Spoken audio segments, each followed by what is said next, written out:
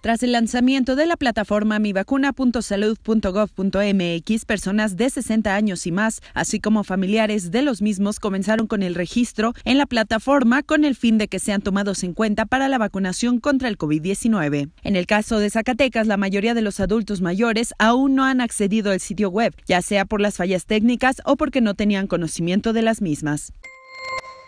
No, bien, bendito sea Dios. Gracias. Ni la cabeza, ni los huesos, ni nada me duele. Todo estoy concentrado bien. Sí, sí, he estado mirando noticias. Que están. ¿Y ya la registraron o todavía no? No, aún no. Okay. ¿Usted No sí se piensa vacunar? Pues sí, ¿por qué no? ¿Ya se registraron? No, todavía no. ¿No han escuchado en ningún medio? Sí, sí, hemos oído que primero son los ancianos como yo. ¿Ya se enteró? Sí, ya me mandaron un mensaje por, por el teléfono, Ay, que le estuvieron comunicando.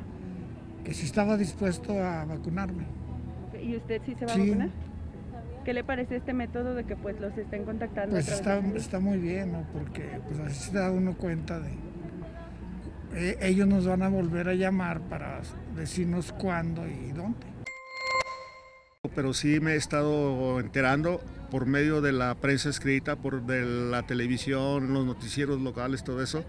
E inclusive supe que ya se iba a envasar aquí en México, que nada más mandaron la sustancia activa para, para envasarla aquí y ya a través de la televisión que van a dar un aviso de cuándo van a empezar con los adultos mayores y estamos al pendiente para cuando llegue eso, pues acudir a que nos vacunen. Entonces usted sí se va a vacunar. Sí, claro.